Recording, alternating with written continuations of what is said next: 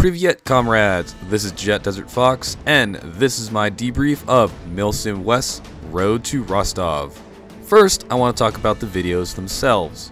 Now, I tried a very different format from the Jump to Crimea series, which, looking back, I feel I should have just stuck with that format.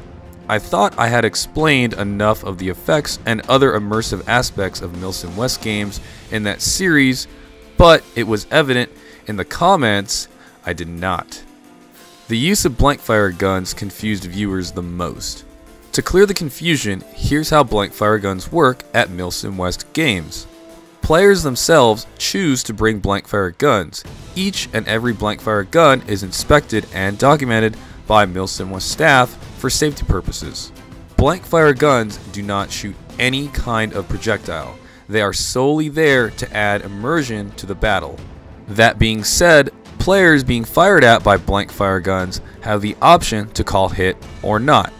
However, players with blank fire guns struck by BBs have to call hit.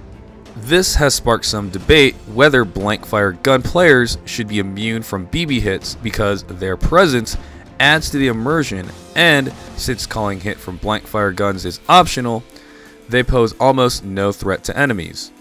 What do you comrades think? Should blank fire gun players have the option to call BB hits since it is optional to call blank fire shots directed toward you?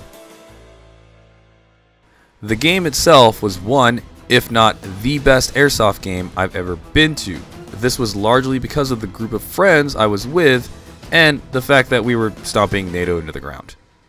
The intensity of each firefight and the scale and environment of the AO really made it feel like we were in Russia.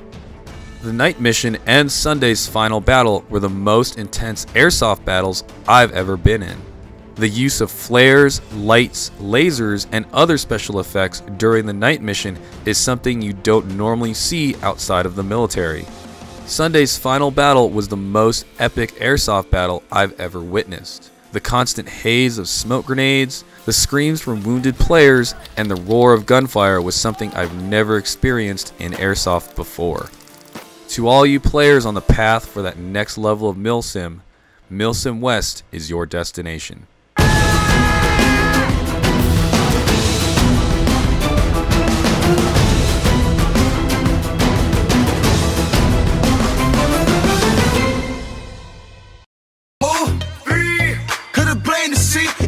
she with you,